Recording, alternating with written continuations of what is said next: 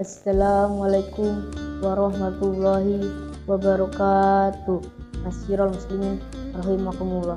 Dunia ini fana dan akan segera berlalu. Kehidupan sebenarnya ialah kehidupan akhir kelak. Ukuran kemuliaan bukanlah dengan banyaknya harta dunia, bukan pula dengan banyaknya pengikut. Dan kemuliaan, kebahagiaan yang hakiki ialah takwa kepada Allah Subhanahu wa taala. Inna ahromakum indallahi ajqakum. Sesungguhnya orang yang paling mulia di antara kamu di sisi Allah adalah orang yang paling bertakwa di antara kamu. Quran surat Al-Hujurat ayat 13. Bukan harta dunia yang menjadi patokan cinta Allah Subhanahu wa taala kepada Anda.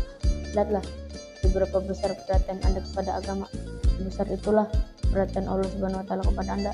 Pada masa ini, banyak manusia tertipu dengan harta dunia dan mengumpulkan harta dunia siang dan malam namun lalai kepada Allah Subhanahu wa taala.